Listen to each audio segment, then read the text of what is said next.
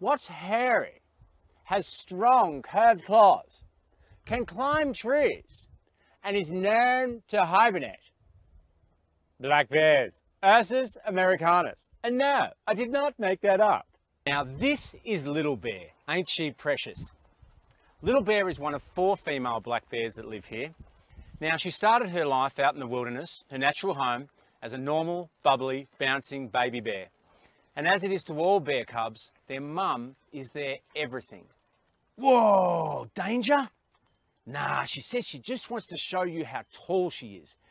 But if you come across a black bear and they stand up like us bipedal animals, it's not a display of threat, as you see in TV and movies, and they aren't about to chase you down and use their hook claws to turn you into a blood sprinkler.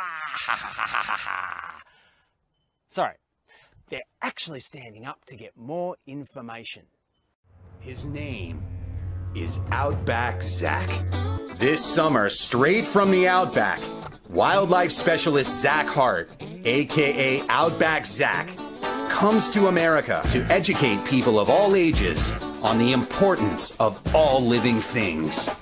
G'day and welcome to the all new Outback Zack endangered species.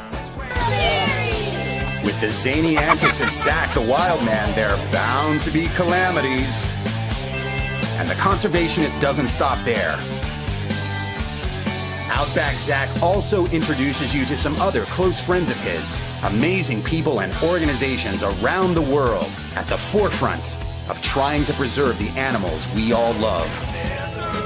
Watch Outback Zack as he brings you really close to the world's most incredible life forms and shows you something new as he takes you on a wild and thrilling adventure full of fun, heartache, and danger.